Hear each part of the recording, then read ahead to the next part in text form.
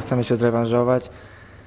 To kolejne ciężkie spotkanie, które nas czeka w tym okresie i cieszymy się, że mamy teraz ten tydzień na, na przepracowanie, tak jak to było przed meczem bodajże Ligi Mistrzów z Dynamo, więc y, ciężko pracujemy i, i przygotowujemy się stricte pod tego przeciwnika, więc mam nadzieję, że, że wszystko będzie dobrze. Liga jest bardzo wyrównana, to, to fakt, ale myślę, że my nie możemy patrzeć na tabelę. Oczywiście wiemy, gdzie się znajdujemy, ale nie możemy o tym myśleć, bo to nam w niczym nie pomoże. Musimy skupiać się na spotkaniach, na naszej grze, na, na przeciwnikach, bo, bo tak jak każdy z nas powtarza, jeżeli my prezentujemy dobrą siatkówkę i popełniamy niedużą ilość błędów, to, to naprawdę ciężko się z nami gra.